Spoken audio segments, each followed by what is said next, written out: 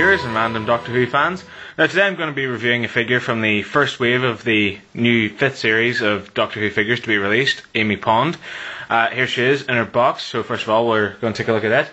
As you can see it's a lot smaller than the uh, previous boxes and uh, of course when the first Doctor Who figures came out they were uh, in similar packaging to this, uh, i.e., they had the plastic bubble at the front and the uh, card at the back. So uh, then they eventually went on to an entire uh, blister pack, which was, of course, all plastic. Now they've gone back to uh, plastic and cardboard again.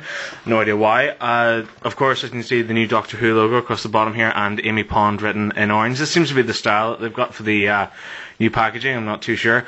Uh, up at the top here, you can see highly detailed posable figure. And just in case you were worried, uh, new figure. This isn't an old figure. It's brand new. Uh, BBC logo across the top here, and it's for ages 5 and up. There's Amy inside the box. As you can see behind her here, you can kind of see, it's not really the time vortex, it's uh, kind of like the vortex you saw, uh, you know in the Down the Rabbit Hole trailer where they were sucked into the ground and flying through the air and a uh, uh, weeping angel exploded. I don't know what was going on. So it seems to be that type of vortex behind her here. Uh, taking a look around the side here, as you can see, it says Amy Pond and, uh, oh, it's missing. Mainly because I opened it, but there is the uh, DW logo across the side here. There it is there. Around the back here, as you can see, highly detailed posable figures. Uh, available figures include the 11th Doctor with Sonic Screwdriver, Amy Pond, the Weeping Angel, uh, Hawthorne, a Dalek Ironside, a Professor Bracewell with robotic revealed chest and swappable damaged arm, and Peter the Winder with hidden smiler face. I've got to look at all these today when I was down at Forbidden Planet. That's where I got this from. Uh, they all look pretty good. Uh, I was going to get a Dalek Ironside as well, but I decided not to, mainly because it's the same design as the uh, Daleks in the previous series, and I've got loads of them already. So eventually, maybe somewhere along the line, whenever a cheaper one uh, it does get cheaper, I probably will buy it. But as of now, I'm holding out for one of the new design Daleks, particularly a red one. Uh, one I was really impressed with was Professor Bracewell because he comes with uh, the different features and the swappable chest, which was pretty cool. Uh, maybe by character options and the official Doctor Who seal of approval. But I've uh, went on and on about the box for too long now, so uh, let's crack it open and take a look at Amy herself. Okay, here she is out of her box. As you can see, quite small uh, in size. Uh, she does feel quite small, but uh, I think she is she probably is in scale with practically every other uh, uh, model of this scale to be released. Uh, taking a look at here, as you can see, no, you probably can't see it really well because my camera is pathetic, but face sculpts really well. She's kind of got this sort of nonplussed look on her face, which you normally see on most figures this size. Uh, the jacket's detailed really nicely. I like the sort of like little crumpled effect there on her uh, leather jacket. And on the other side there, as you can see, uh, the sleeves have been rolled up, so uh, nice detail there. Also little pockets as well, little lapels, which is quite nice. Also, if you look nice and closely in there, you can kind of see she's wearing a little necklace too, which is quite cool. And uh, of course, nice material there on her jacket and on her mini skirt. And uh, on her belt there, as you can see, the buckles details really well. And uh, across the back here as well, you can see she's got pockets in her uh, denim skirt. The hair is detailed beautifully. You can't, my camera really doesn't do it justice.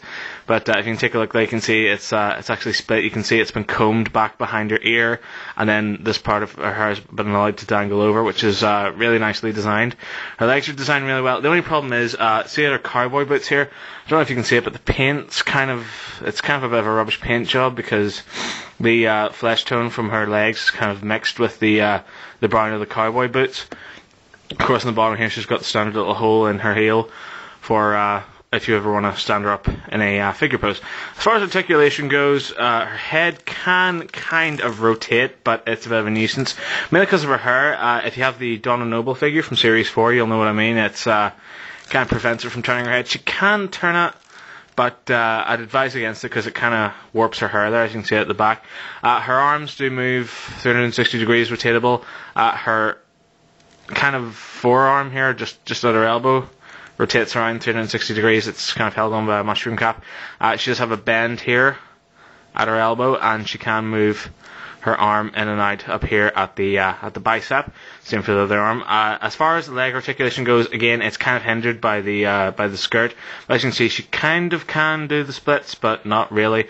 And uh, her knee bends to a uh, 45 degree angle, and there is no rotation on her feet. So uh, that's Amy Pond. Uh, as far as size comparison goes, here she is alongside the 11th Doctor. As you can see, nicely to scale, as well as the flight control TARDIS behind me here. So as you can see, she fits inside quite well. As you can see, that's her inside the flight control TARDIS. This is the uh, kind of pose that I'd like my uh, figures to be in when I have them up on display. Uh, so in summary, I really like this Amelia Pond figurine. It's uh, extremely well detailed, very accurate. Uh, if you have an 11th Doctor, it doesn't matter if you get him uh, in the single pack like this, or with the 11th Doctor's Crash set, which was released down in the series. Uh, it just sets off the collection really well. Of course, your Doctor's going to need a companion. Uh, hopefully, they're going to release a Rory Williams figure. I'd really like that as well, to have the three of them sort of together. And also, if you have a, a flight control TARDIS, it just sets off the piece incredibly well. So as I say, as you can see, it sets off the collection incredibly well, and uh, definitely a figure that I would recommend.